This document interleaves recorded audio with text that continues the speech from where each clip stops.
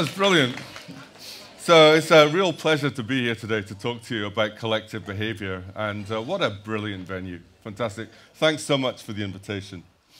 Um, so, yes, yeah, so I'm going to talk to you about collective behavior in the animal world and then how this can help us understand our own societies. And so, one of the great things about studying collective behavior is that it's beautiful. And that actually is how I got involved in the study. I was first interested in the art of collective behavior, and then my interest in science came later. Now, I want you to guess what this is. Just shout out if anyone has an idea what this phenomena is we're looking at. Yeah, it's fish. So this is all fish. If we zoom in a little bit, what you're actually looking at here is collective behavior of sharks hunting, schooling prey. So I just flew in from the Maldives yesterday, and this is data that my uh, student sent me this morning, and I thought I'd share it with you. And what we're also doing, so this is filmed using a drone. Um, we also have another drone that zoomed in, looking at the details of these interactions. And so you can see that in actual fact, that kind of smoke in the background were millions and millions of schooling fish that have evolved within this huge collective. And we know very little about how these collectives function. To my knowledge, this is the first time groups of this size have ever been studied. Um, and collective behavior, I think one of the engaging things about it is that we see it all around us. We see flocking birds and schooling fish. And many of you may have wondered about ants. So here are blind army ants forming a living bridge, a living architecture out of their bodies. So, unlike us humans, they have an adaptable infrastructure, bridges, even scaffolding to stop the ants from falling. Elsewhere in the natural world, we have phenomena such as these locust swarms that really impact the livelihood of humans on the planet.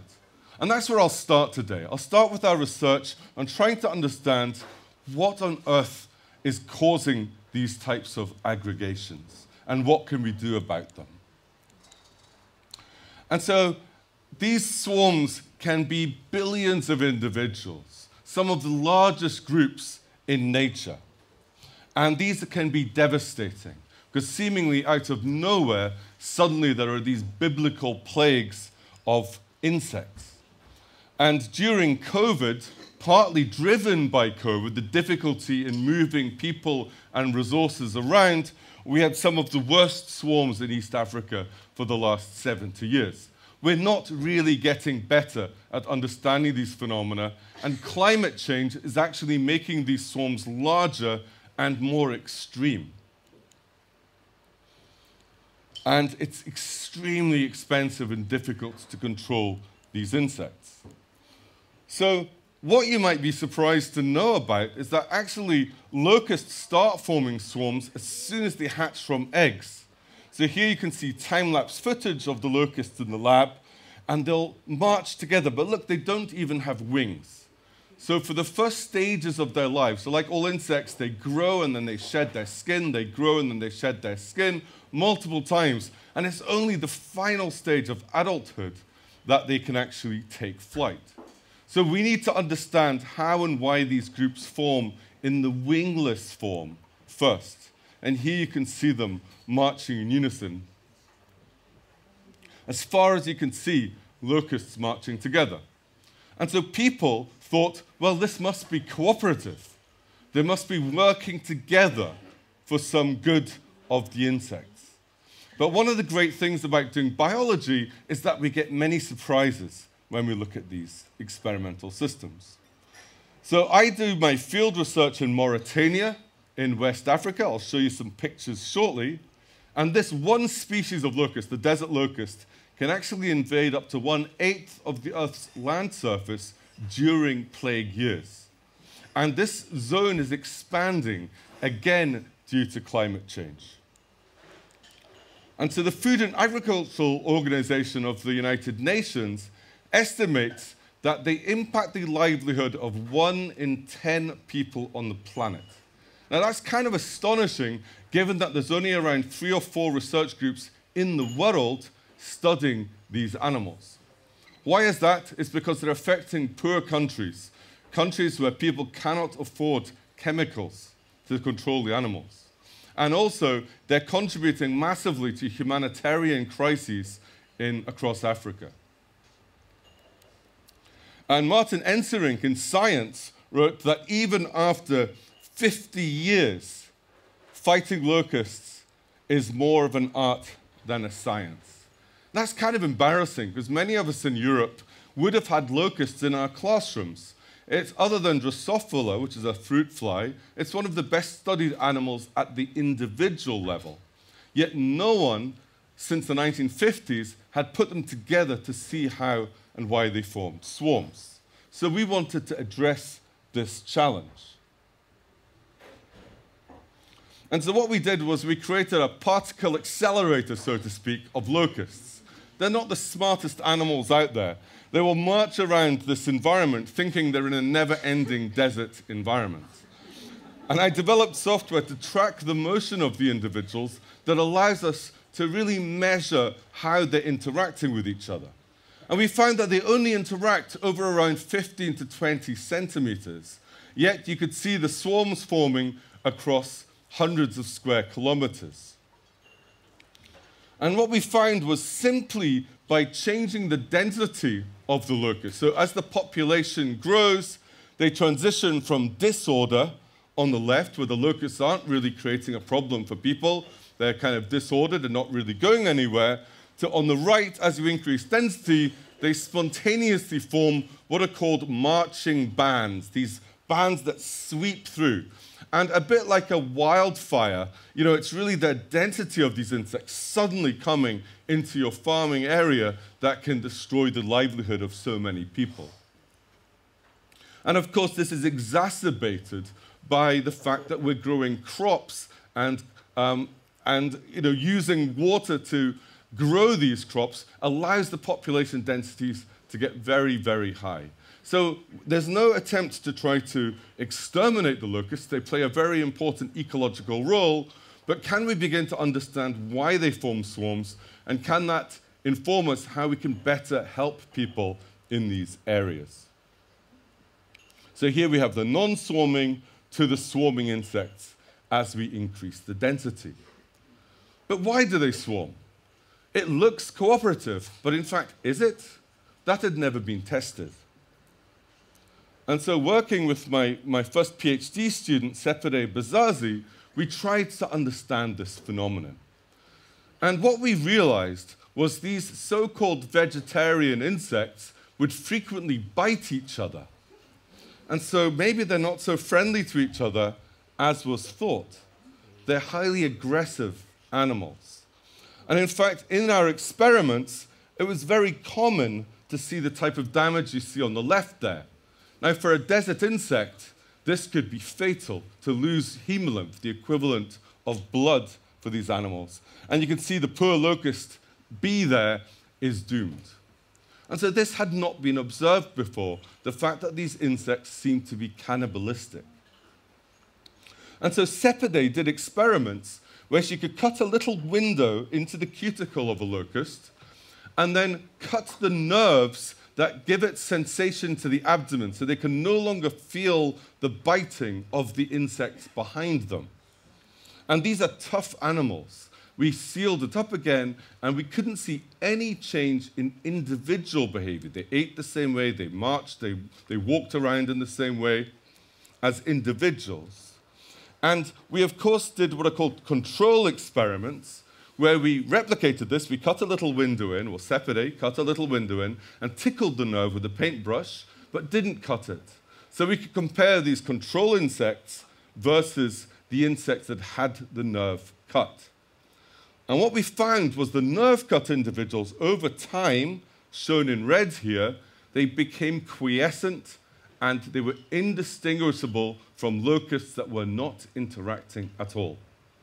Conversely, the insects that could feel the biting of others became more active and formed a swarm. So, by removing the ability to sense the biting of others coming from behind, we could completely prevent the swarm from forming. So this indicates it's not a cooperative act. Now, this is a controlled lab experiment, and I wanted to test these ideas in the real world. So this is why I went to Mauritania. There had been a locust outbreak. And indeed, working with our Mauritanian colleagues, we were able to find a swarm of these insects. But it was surprisingly difficult. It took about two and a half days driving through this beautiful desert to find these insects. Because typically, if they find them, they will apply insecticide. So I had to try to explain no, please don't kill them. I actually want them alive, just a small swarm. It was only about 15 kilometers, so it's quite a small swarm. Um, and I persuaded them to let me study it for a couple of months. And here's one on, uh, you can see this beautiful red eye and beautiful coloration of these insects. And that's me filming the locusts. And that's one of my colleagues, Abdallah Al Baba, and that's our camel that was taking our, uh, our equipment with us. A very grumpy animal, but I became quite, uh, quite attached to him. Um, and you can see the footfalls of locusts in the sand in the background. And this is the camel close up. but it turns out I'm not very good at field biology because even though I had plenty of money with me, because there was a locust swarm, there was a plague of locusts, there was a famine. And so it didn't matter how much money you had. It was really hard in these remote areas to buy any food whatsoever. And I'd actually been a vegetarian for over a decade prior to this trip. Um, and the only food we could get hold of were camel entrails, the intestines of a camel. This was not our camel. Our camel was not harmed. This is another camel. But you can see that you can see if you if you look closely some flies uh, eating and laying eggs in this. And we dried it in a little tree till it became like a, a jerky, a dried meat. And surprisingly, it didn't taste all that bad. But my body had not been used to meat uh, and certainly not used to camel entrail, so I became incredibly sick. I honestly didn't know if I was going to make it. and you can see how well prepared I was. This was my 50 euro tent. And the Mauritanian colleagues just laughed at me as I had little tent pegs this big in sand, completely useless. So they gave me these, these screws that we could put in. And this is the same tree that we're drying our clothes in, and we had some colleagues come to give us some resources with the vehicle there. And what you're seeing in the background, just after, shortly, I mean, within days of finally feeling better again, what you're seeing is a wall of sand coming towards us. A huge sandstorm. Um, and this is not a sandstorm, this is exactly the same sandstorm taken from satellite data. And so this storm came through for a few days, and literally blew the locusts away. So I was there for about two months, two and a half months. I got 20 minutes worth of data. it was horrific. Um, but it does just show you how challenging it can be to study these types of animals.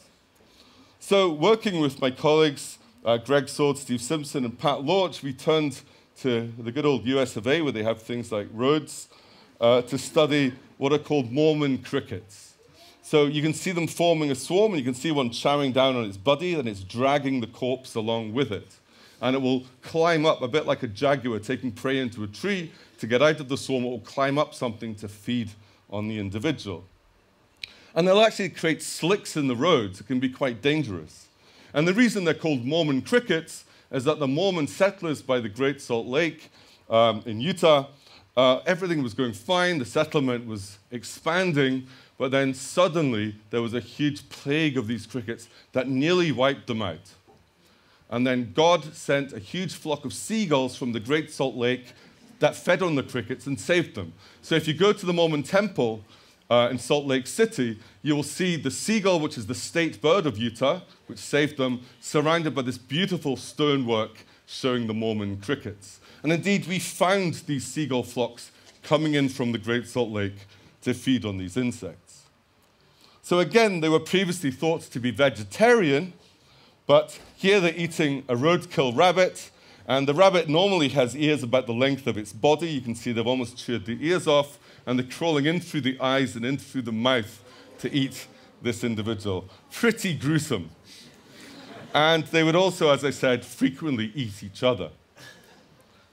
And so we conducted experiments where we manipulated the protein in P to carbohydrate ratio in artificial diets. Everybody thought they're vegetarian, therefore they should go for carbohydrates.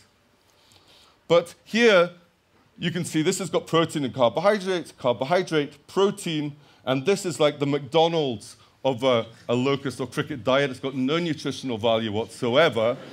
and so you can see that the zero nutrition diet was preferred exactly the same as carbohydrate. By the way, they taste with their feet, so they don't even need to taste it um, to eat. But as we add protein further and further still, you can see that the, the crickets love it. They really love protein. Now, of course, I randomized the experiment, but because the effect was so strong, here is a living histogram looking at their preference for salt. So this is just water, and this is very concentrated, two molar concentration, extremely concentrated salt, but you can see them fighting over 0.25 molar. That's their preferred salt concentration, which, lo and behold, turns out to be exactly the concentration of their blood. So they're finely tuned to a cannibalistic lifestyle. Now, if you're in a desert environment, you run short of essential nutrients like water, salt, and protein. They're really hard to find in the environment. What better than a perfectly packaged, exactly the right balance of nutrients is another individual of the same species? And so we discovered that they're not cooperative. They're actually on a forced march. Everyone is trying to attack those ahead and trying to avoid being eaten from those behind. And the outcome is an emergent swarm that forms. Stop, and you risk being cannibalized.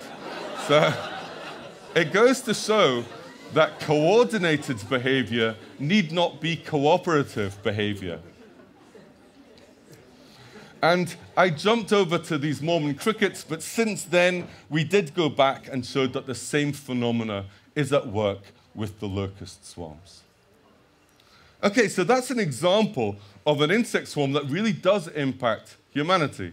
But it was a bit disappointing to me because I've always been interested in swarms and flocks because, you know, there's lots of people, uh, they're called neuroscientists, that study the individual brain.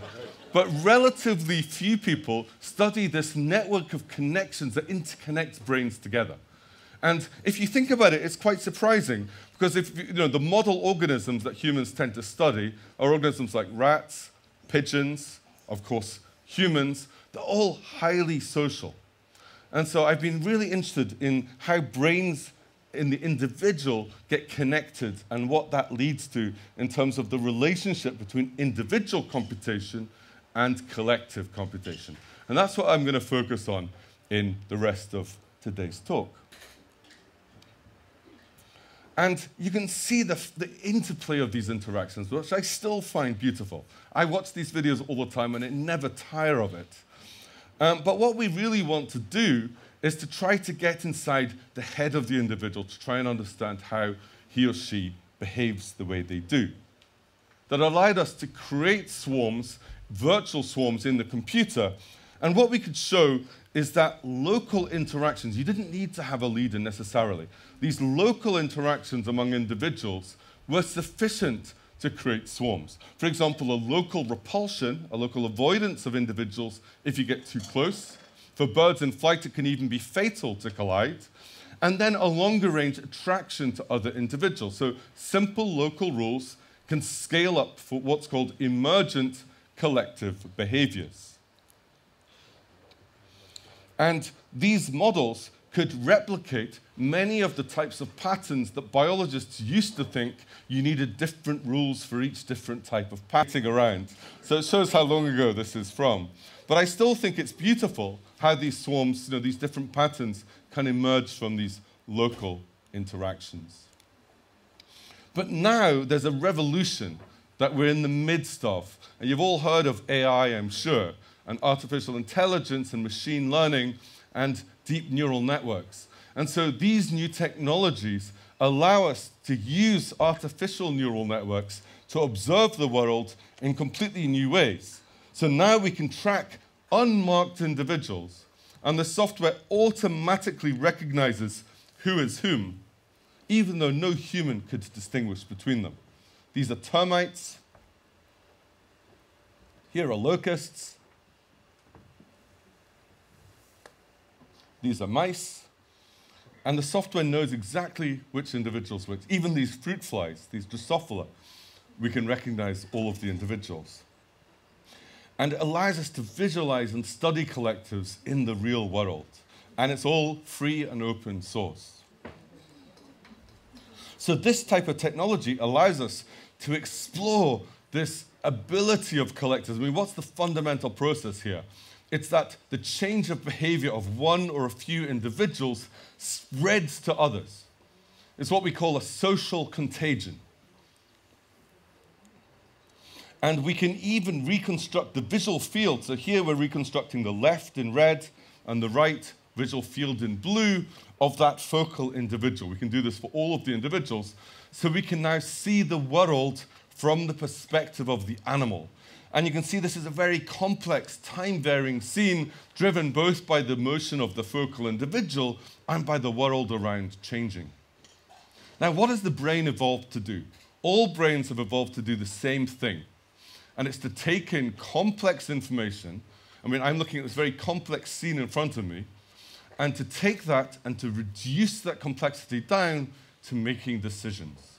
This is called dimensionality reduction because there are many dimensions in the world, different sensory modalities, yet the brain has evolved to make sense of that and to make these decisions. And what we've been able to do is be able to reconstruct the network of communication within these groups. Now, what a neuroscientist would do is they can go into the brain and they can look at the physical and functional connectivity of the neurons that gives rise to individual behavior and individual intelligence. But when we look at animal collectives or social systems, there is no physical form of the, connective, the connections. And so we really need these new technologies to visualize and analyze. And we call these the hidden networks of interaction, networks of communication that have never been seen before. And these tend to be what are called weighted so strong weights mean that you strongly influence others, but it's also directed. I might be strongly influenced by you, but you not by me. And this is something that's very common in social networks. Again, had not previously been studied. And this is a real fish school reconstructing these beautiful networks. And they really have remarkable properties. And so over the years, we've been able to show that computation occurs in the brain, of course, but it also can occur by changing the network of interactions. So a bit like a neural network. We've shown that this regulates social contagion, how behavior spreads in groups, modulating behavior in response to increased risk when the world gets more dangerous, the individuals do not change how they respond, they change the network connectivity, which changes the sensitivity of the collective to inputs. Sensing long range environmental gradients, we were able to show that no individual in the group can sense the gradient, but the group can. Okay, so it's really a collective effect. And also that these collective properties evolve readily among genetically selfish individuals. Okay, so even though there are many, many differences between these animal groups and, say, a neural network, we're beginning to understand that just like you know, the, the way we have creativity and the reason we're so smart, and any animal is smart, is because you change the weight and the connectivity of the network of communication. Each neuron is relatively simple but have a billion of them working together, and you can have these emergent properties. We're finding the same type of things occurring within these animal collectors. It's just we've never been able to see and study these networks before. And so there's lots of emergent features that they can do. So I told you earlier that they don't need to have leaders to coordinate their behavior. But just like human societies, these animals often live in populations where they split and they merge with other individuals and then they can split apart. And so you never know who you're going to be with. And so we've been able to show that individuals within these groups can communicate without requiring signaling and without requiring to know who has and who does not have information. Individuals, for example, that do have information, in this example, we're going to have a preferred direction of travel that is shared by the white individuals. Now, importantly, these individuals are only white so we can see who has information. So it's only for us humans. In the model, we don't assume that anyone knows anything but their own informational state. So they have those simple local rules of avoidance of collisions and attraction to other individuals. But the white individuals also reconcile that with a desire to move in a given direction. And what we can see is without communication, explicit communication, without individual recognition, without signaling, the information was conveyed. Okay, so it shows us that these animals can, can oh, this is very, this is very exciting. Oh, wonderful. Oh, great. Cheers. Ah, this is the kind of talk I like. Um, especially having been in uh, uh, the Maldives on a dry island for the last couple of weeks. Um, so we could also uh, test these ideas experimentally. So here are fish. The red ones have information about a green laser stimulus the fish normally don't respond to. And you could see the wave of information conveyed among the individuals, even though they don't have complex language or anything like that. And so you can see as you increase the number of these informed individuals, we increase the accuracy of this information transfer. Now, what about if there's conflict in the group? What if some individuals want to go one way and others want to go in a different direction? This can be very common. How can they reconcile it? What do we do as humans? Well, we vote. So I could ask you a question like, you know, where should we go out later? And some of you could recommend one place, others a different place. I could tally up the votes and we could come to a consensus. But remember, these individuals cannot, to our knowledge, count, and they certainly can't do that complex communication.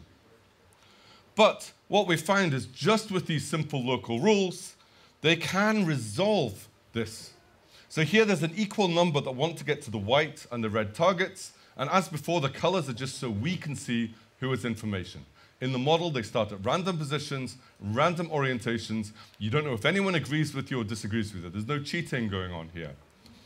But it will be 50-50 because there's an equal number of individuals for each option. So it's random which one they'll choose. In this case, they choose the red, but if I ran that again and again, it would be 50-50. But if I put in just one extra white individual, again, random starting conditions, they will almost always choose the majority preferred target, even though nobody knows if they're in the majority or minority and no individual can count. So again, is this term emergent. This emergent property of these local interactions allows the group to create a computation that no individual in the group is even aware of. Okay, so they're voting on the move. So when you look at a bird flock or a fish school, what you're really looking at is a sort of fluid computer on the move with the interconnection of the brains of the individuals. And so when I wrote this article back in 2007, I was extremely cautious to draw these connections because surely there can't be a deep connection between the type of communication within these flocks and schools and neural networks because there are so many differences uh, in levels of selection, in terms of the components. But what I want to argue today is that I was wrong. It is not just a metaphorical connection. There is a literal mathematical connection in terms of how spatiotemporal, how computation or decision making in space and time operates.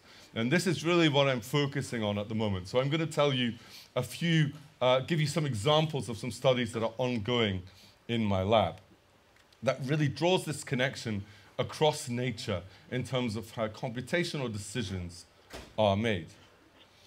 So, you know, how does the brain make decisions? So we can look at decision making in a wide range of animals from this fruit fly, this what's called a model organism in biology, it's very well studied, through zebrafish, all the way up to complex organisms like mammals. And in all of these systems, when the animals are on the move, the neurons have to come to a consensus about where to go. In the fruit fly, they've got this beautiful ring. It's called an ellipsoid body. And this bump of neural activity shown in yellow is the decision the animal has made regarding where to go. Similarly, if you look within the vertebrate brain, such as in rodents, they don't literally have a ring, but the neural connectivity is such that it behaves like a ring.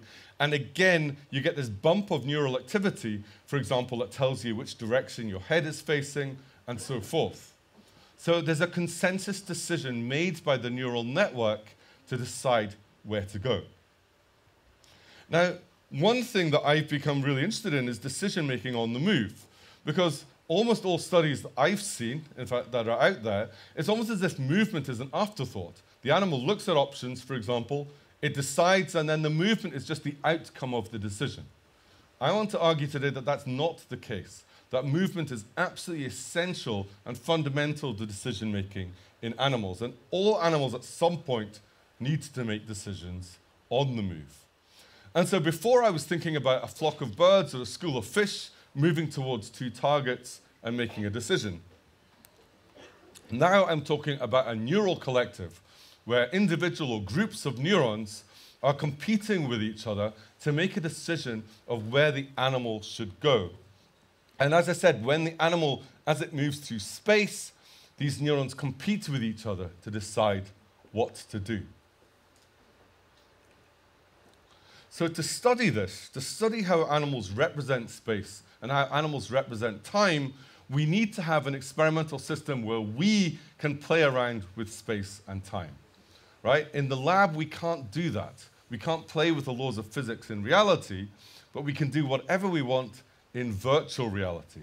So we had this idea to create what if we could put animals that are freely moving that could then interact freely with photorealistic holograms?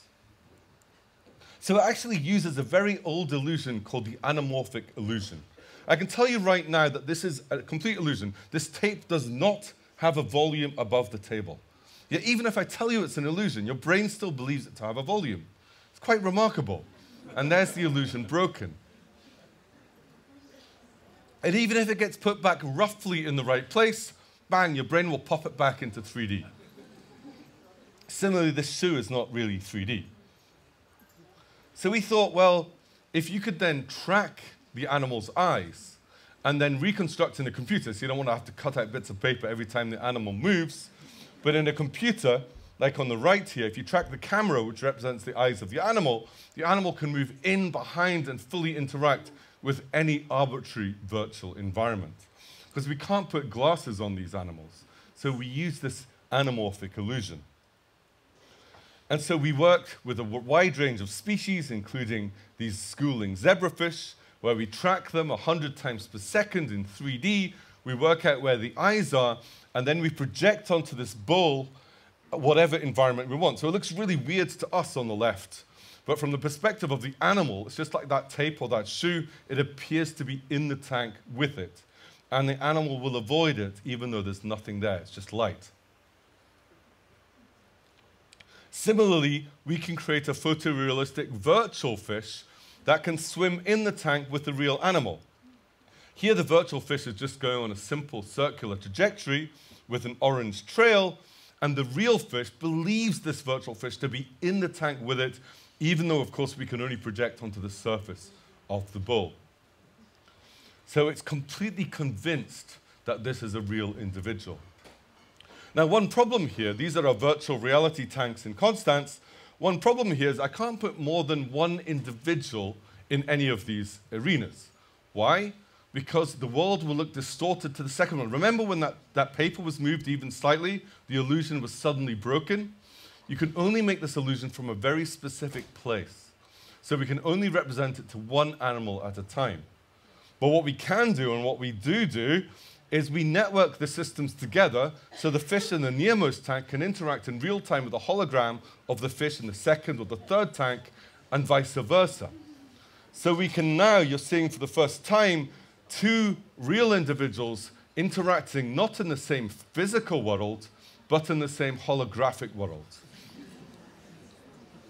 And they really, it's, it's indistinguishable to how they behave in the physical world.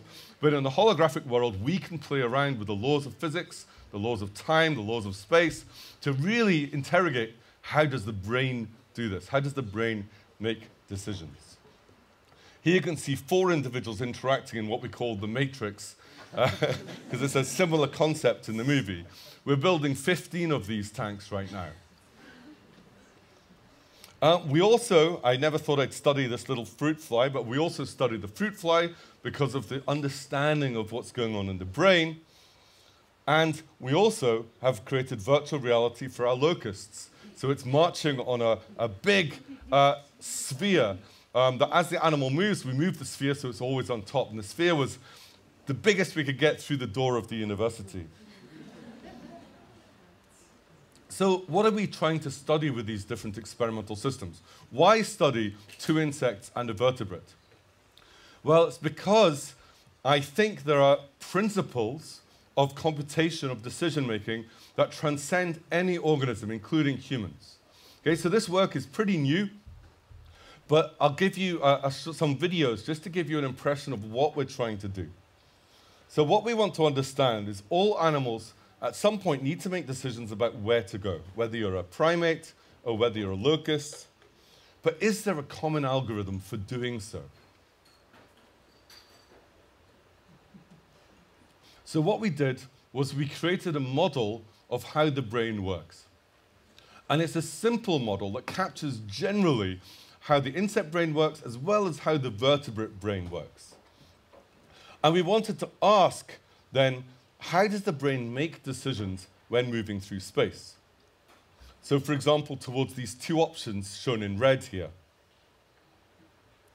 And we found that our model made a specific prediction that below a critical difference of angle between the options, the animal should move in the average direction, and then suddenly there's what called a bifurcation. Suddenly the neural dynamics changes and the animal makes a decision. And there's all sorts of cool properties of what occurs near this bifurcation that amplifies differences and so on.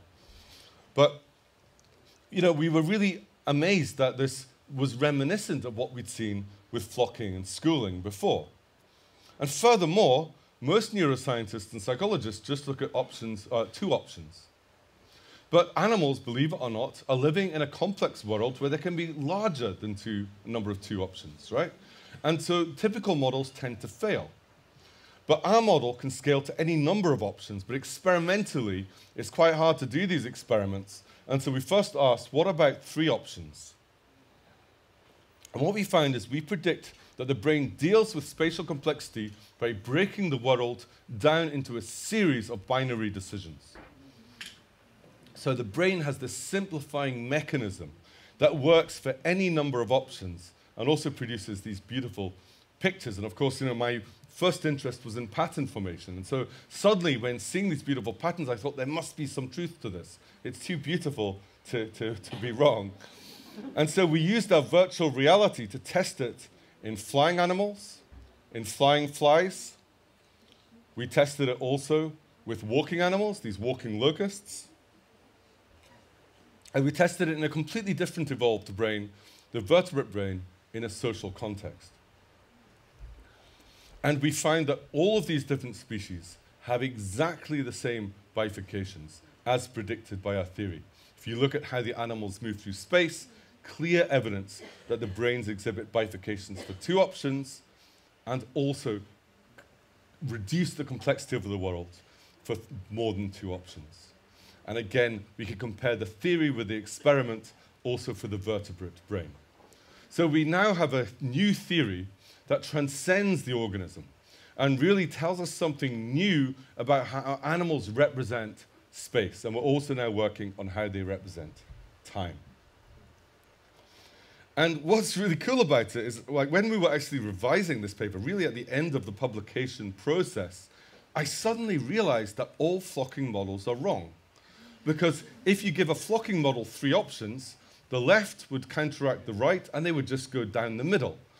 So the flocking, the animals in a flock must have something, must have a feedback mechanism reminiscent of what goes on in the brain, And so we also discovered that, and we're able to put in a forgetting behavior that's required to allow flocks to perform exactly the same behavior for the same reasons. So it really transcends the level of organization. And as I said, it produces pretty pictures. so if I'm claiming that this is, you know, transcends these different organizations, these different brains, then if it's so robust, then we maybe could see it in the wild. So we turned to wild primates, these are baboons. Now we're using GPS collars to track the individuals. And so we put GPS on almost all of the adults within a wild, unhabituated troop. And for ethical reasons, we did not put it on juveniles. But the juveniles stay with the mothers, and all of the collars were removed at the end of the three week experiment. But now we have every second of their lives, we have the location of each of these animals. Now, people always argued that baboons are hierarchical. The males are dominant to all of the females, and there's a dominant alpha male. If you watch TV, it's always the alpha male decides this, alpha male decides that. But no one attested that. We found no evidence of this. We found thousands of events, tens of thousands of events, where some want to go one way, some want to go another way, but the group comes to a consensus. And we could actually have enough data to compare our theory for how animal groups make these bifurcations and these decisions and so the same occurs within the brains of the baboons. So it's a democratic consensus. A juvenile female is just as important as a dominant male when it comes to deciding where to go. Now, if they get to the resource, then you can see the dominant male can completely monopolize it. So perhaps they've evolved to allow the collective intelligence to make decisions about where to go because the dominant individual can benefit from the wisdom of the crowd and then exploit the decisions made. So, to summarize, we find that there exists a common algorithm, so a common principle, a geometric principle that governs decision making. And what I find amazing is that the same algorithm occurs among the neurons within the brain as occurs among the brains within the network of communication. Natural selection has found the same principle for the same reasons across these vast scales of organization. Okay, in the last part of my talk today, I want to switch to a different organism. Now, my first question for you is what do you think this is? What do you think this represents?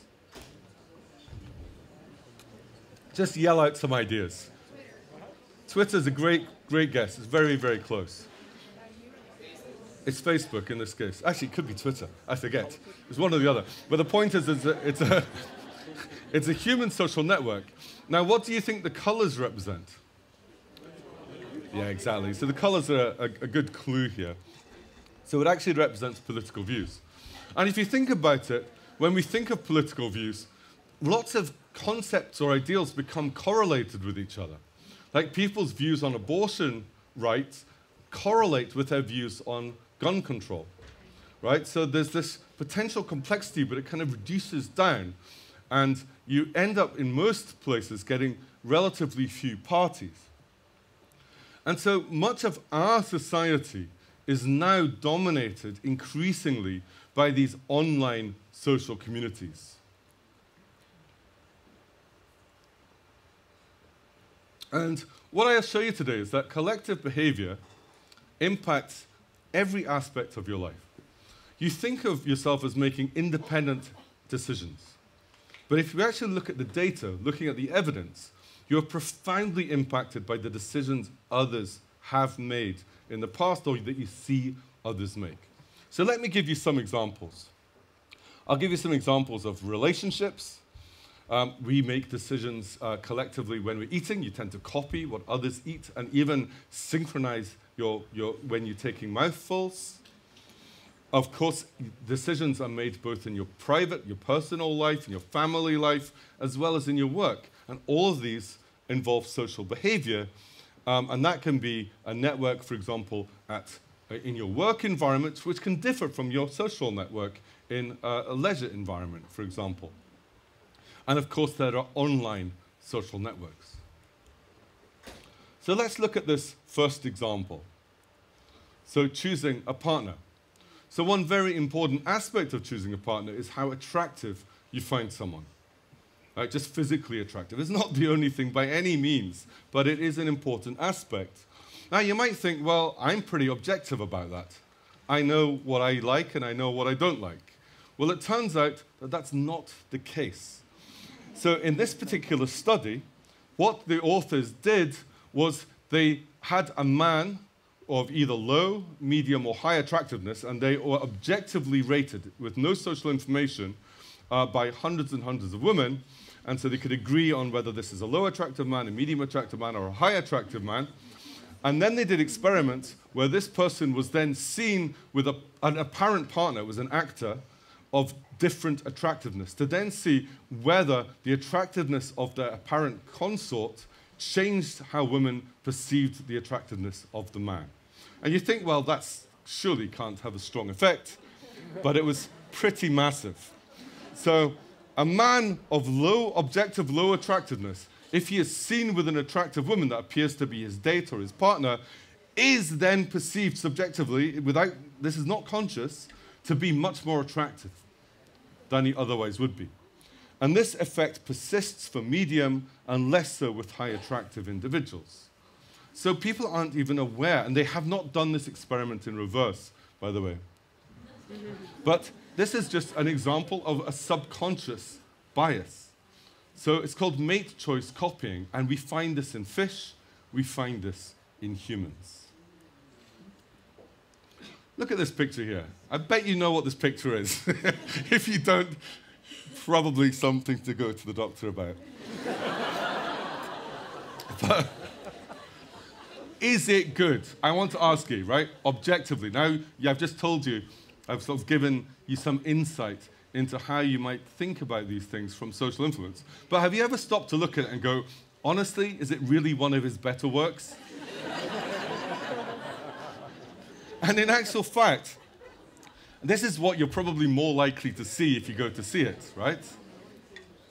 But maybe surprising to you, it was actually a minor work that really was not well uh, perceived among his excellent works until it was stolen in 1911. Right? So the painting disappears, and of course, this is all over the, the newspapers of Paris, and it's what people are talking about in the cafes and coffee shops.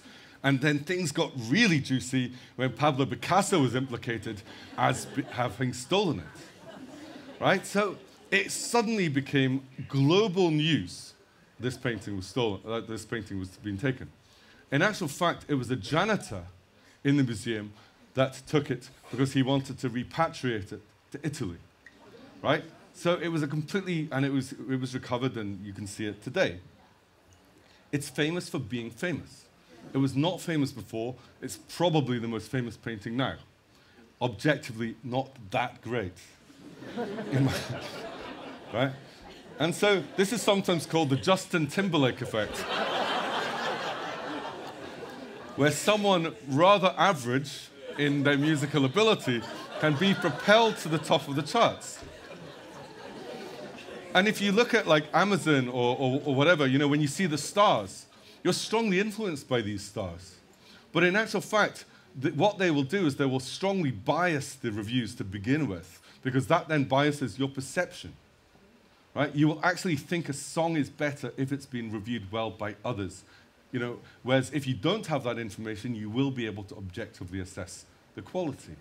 Right? So again, subconscious social influence.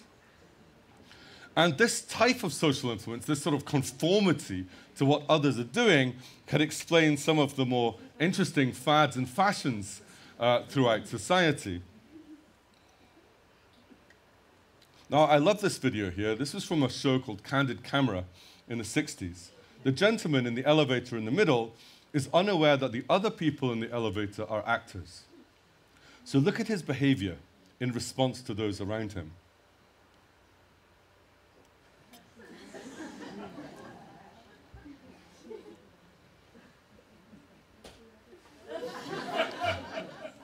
we think of ourselves as being so smart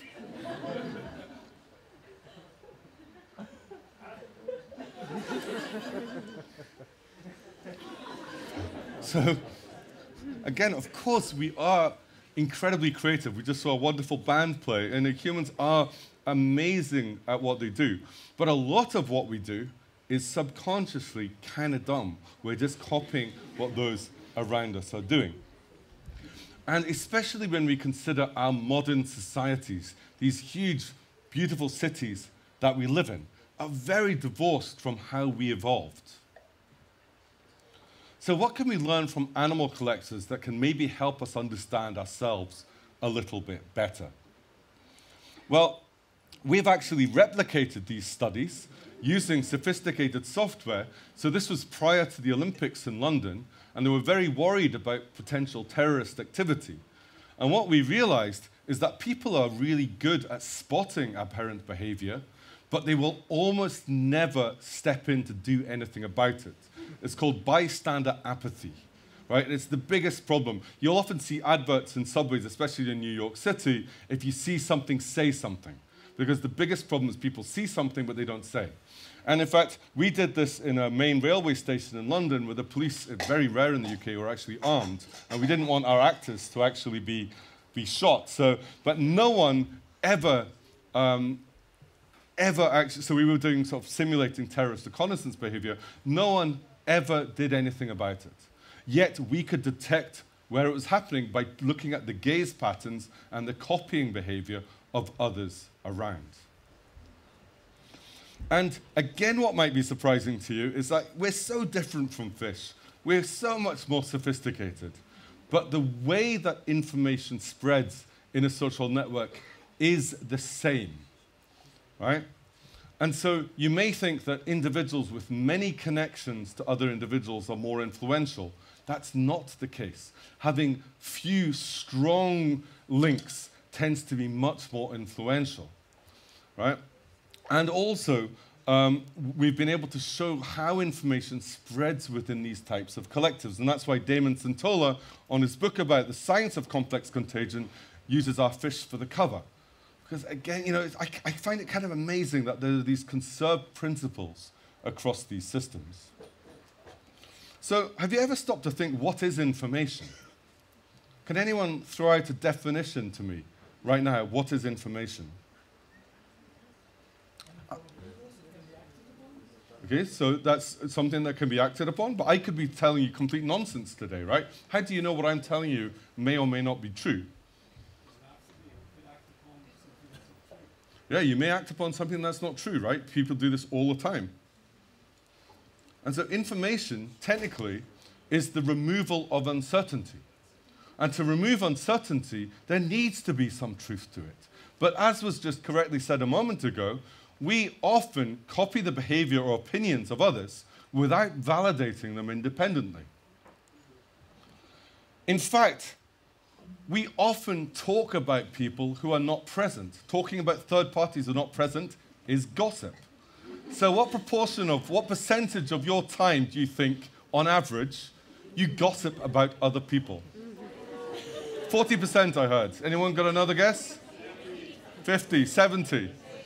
You know what? This is collective intelligence. If I could add up all your guesses and look at the average, it's probably going to be pretty close to the truth which is around 65%.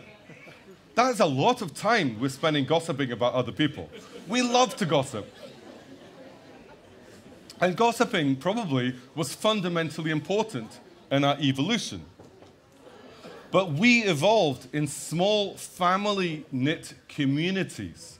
We did not evolve in large cities. Right? So, gossip in these types of environments can only go so far it can easily be corrected. But what about gossip within modern societies? What about if we're using internet or using mass media? This is a completely different world, a world that we haven't evolved in. A world like this, where you've got global connectivity with near instantaneous transmission of information. How does this impact gossip? Well, it turns out that there's this beautiful phrase. No one knows who said this. Some people think it was Mark Twain, but no one really knows. A lie can travel halfway around the world while the truth is putting on its shoes. And there's a heck of a lot of truth to this. So the science of understanding information has really exploded with these online networks because we can quantify the information. You've all heard of fake news. So this work by Sinan Aral and colleagues looked at the spread of true and false news online. And it turns out that false news spreads much faster and much deeper in social networks than does truth. Right? That's pretty scary. And why do you think that is? More interesting? Outrage. Outrage, exactly. Yep. Any other thoughts? Sorry, I didn't catch that. Less nuanced, so simpler to understand, perhaps. Creates more discussion. All of these are, are true. Escape out of your own boredom. that seems like a bit of a personal statement there. I, I recommend the cocktail. so, why is this the case? Well, many of you were intuitively correct. It's because false news inspires fear, disgust, surprise. It inspires emotional states, right? If you want to make news surprising, what's easier than making it up? It's the best way to make surprising information. And so, if you think about yourselves and your daily lives, be really careful what you listen to in terms of gossip, because it's more likely, probabilistically, to be false than true, right? And it spreads very deeply and can actually be very damaging. Now, I think this is now a speculation. Within uh, the sort of societies that we evolved in, the truth did have time to catch up and inoculate the lies, right? In those small hunter-gatherer type societies. But nowadays, it's impossible right? And there's many examples of this. And what about this aspect? What about polarization? Where individuals tend to be connected to those that think like themselves. How does this impact collective intelligence or collective decision making?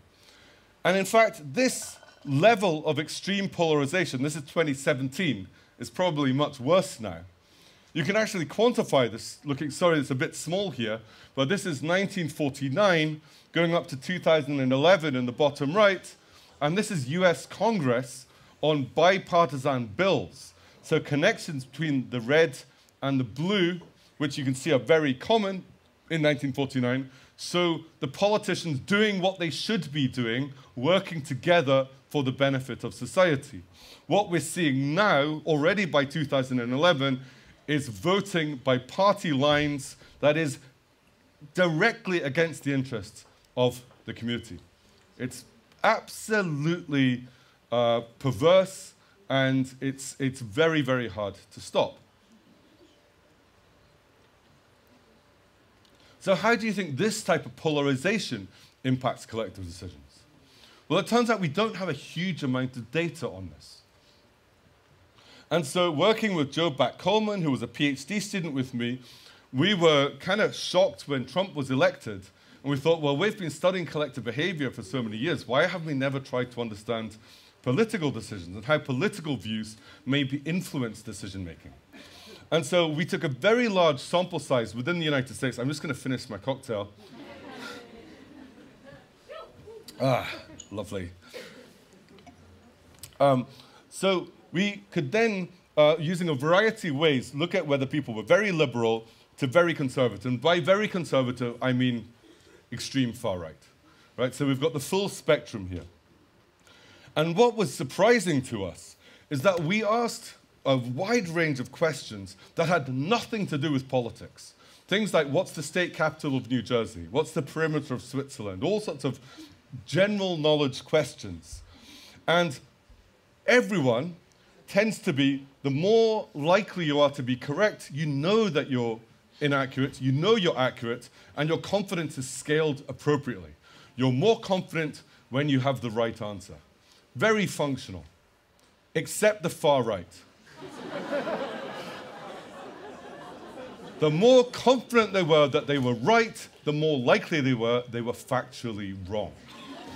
And so we thought, that's weird, so we did it again we got the same result again. the other thing about the far right is everyone except the far right will utilize social information if available.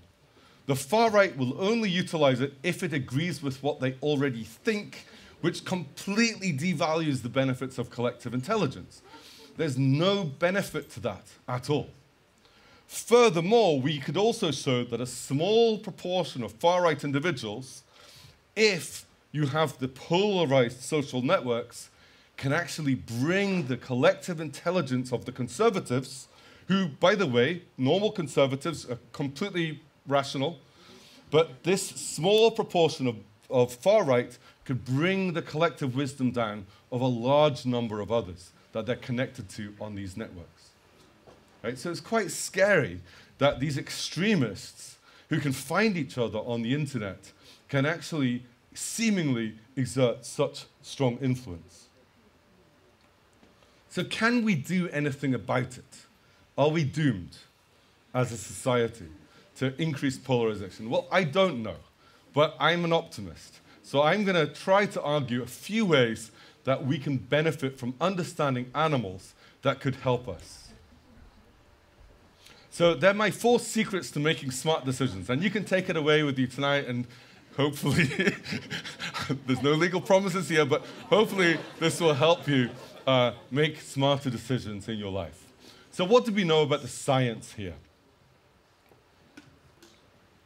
So, actually, when studying animal groups, I discovered that actually having uninformed individuals or unbiased individuals in the collective allowed the group to minimize extremism and to promote democratic consensus.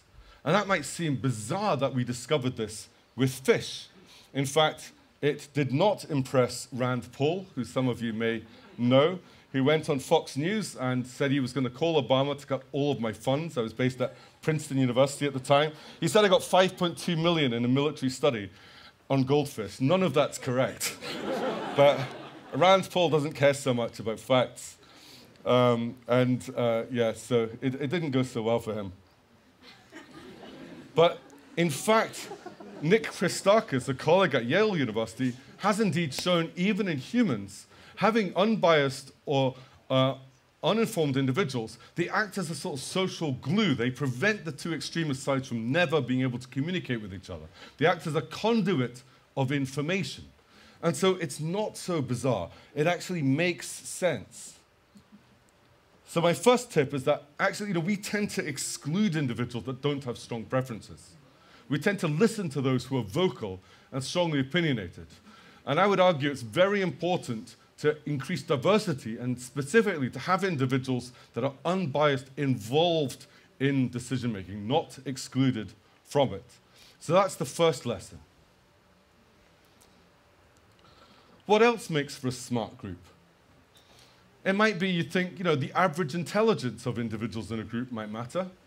Let's get a bunch of smart people together in a room and let them make the decisions. Maybe you should just have a super smart individual in the group, and maybe it's their intelligence that makes the whole group smarter. And this is partly due to our human obsession with individual intelligence. Albert Einstein was a very rare phenomenon. Most human decisions are made collectively. It's not this individualistic genius idea is super rare. Right? So if we actually think about groups making decisions, you, there's actually a study by um, Woolley et al. in Science that they showed that the group's decision, they looked at 15 different types of problems, from video games to architectural design and many others, and they found it did not correlate with average IQ, it did not correlate with maximum IQ, it was something about the group something about the collective intelligence of the group that made that group really smart and really good across these different tasks. And then they asked, what is it about these groups? And they found it was the proportion of women.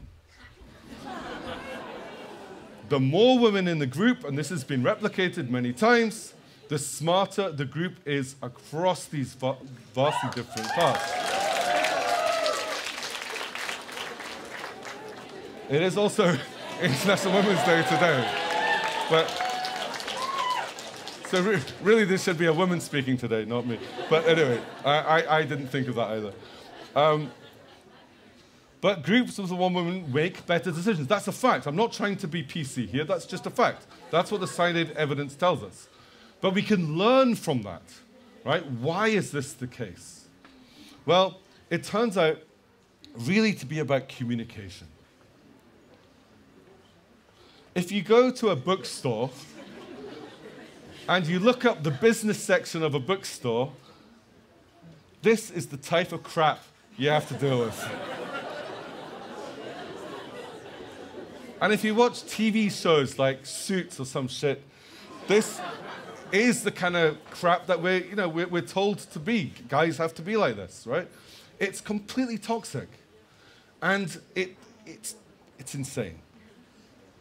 So, really, groups become dumb if one or two people dominate the conversation, and that's what tends to happen with men in groups. Again, I'm, this is just a fact. The men need to be trained to turn take, to allow decisions to be made. So, networks of egalitarian communication, which spontaneously happen in groups of women, make for much, much better decisions. Finally, what about group size? I'm kind of amazed that we still don't know what size to make a group to make good decisions. Whether you talk to businessmen, whether you talk to scientists, no one knows what is the best group size or what range of group sizes works. But we've done some work on this, and it's suggestive that in actual fact, you know, too many cooks really do spoil the broth, and that small groups of around two to 10 individuals tend to make much better decisions. So the other tip is really don't let groups get too large when making decisions. Small groups make better decisions, partly because the randomness, the noise, the error is important. It allows you to explore idea space in ways that big groups get trapped in a way of thinking that is maladaptive. So if we then think about larger structured organizations that are beyond, of course, this small number of individuals, we've also shown that if you organize groups of groups, so small groups that are interconnected with each other, that tends to make much better decisions. But it's really surprising to me that this is new, that this is science that we don't yet know how to compose groups. So I hope to have shown you today, these are my, my four takeaway messages to making smart decisions. Allow diverse opinions, including weak opinions. Listen to others. Allow everyone to be heard. A cheap, easy way to make better decisions is to have more women in groups because it just happens spontaneously. Much harder to train men to take turns, but in theory it's possible. and bigger is not always better. Thanks very much for coming tonight.